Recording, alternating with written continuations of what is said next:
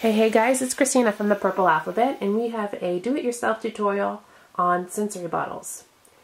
You're going to need a few supplies for this. You're obviously going to need something to put your sensory bottle materials in. These are Voss drinking bottles, and I like these because they're nice and tall and clear. I found these at Target, and there's a pack of six. You can also get different brands that you'd like.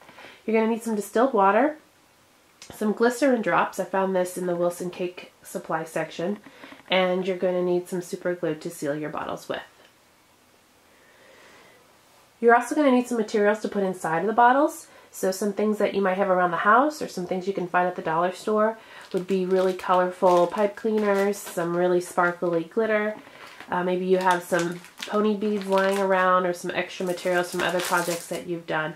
Just make sure that the materials are small enough to fit inside the mouth of the bottle. It's another reason why I like the Voss bottles because they have a wider mouth than most other drinking bottles.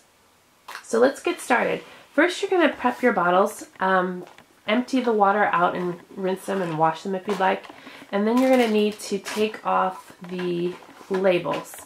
So most of my labels have been taken off already, as you can see.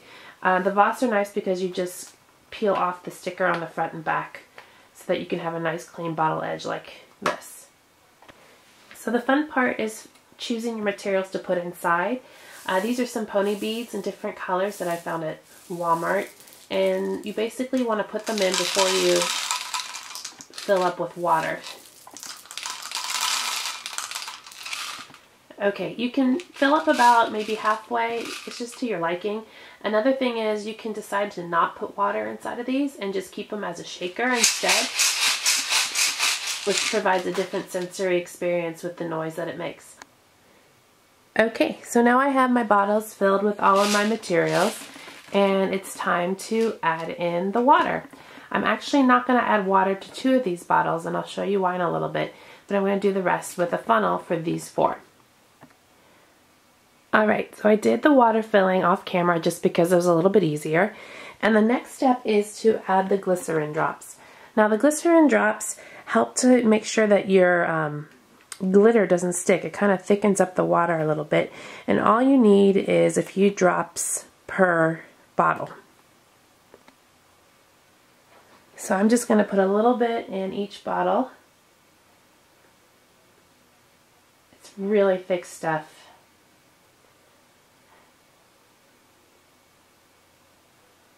And I fill my bottles up right at the base of the neck of the bottle.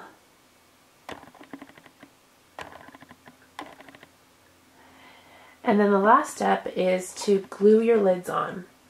You can use a super glue or hot glue. I just have this on hand and so it's what I'm going to use. And you're just going to put it on the rim so you can seal your cap on. Alright, and we're done. We have our lids on, and now we have a set of six sensory bottles. And I'll show you each one and what I did, so you can get some ideas too. This one is filled with water and has the pony beads in it. And um, I chose kind of like an iridescent pony beads. So you can see that. This one has no glitter in it, and the beads move around. This one um, has a lot of fuchsia glitter. I think I used like a whole vial but also has these little blocks inside. And the blocks are from the dollar store. They're little beads and they have letters on them. And so I thought I could play kind of like a seek and find. Can you find the letter A? Find the letter B? There's a ton of glitter in there. Get that glycerin working, shake it up a little bit. And then this one has silver glitter stars, confetti stars. And then you can't tell maybe in the camera, but there's little, um, those ice cubes that you put into drinks that are made from, I guess, plastic. I got those at Walmart as well. They're in the shape of stars, and there's blue and purple and pink in there. And so that's why I chose the um, silver star glitter. This one is just filled with water, and inside there are pebble stones from the Dollar Tree. There's green pebble stones and white pebble stones.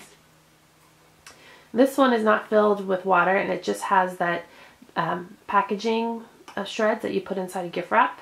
Chose red. Just thought it was pretty because when you turn it you can see the iridescence on the shreds itself. And then my last one, these are pipe cleaners cut up, and I didn't put water in this one either. I'm going to use this magnetic, I guess magnetic wand I got from Lakeshore Learning. It's only $2.29.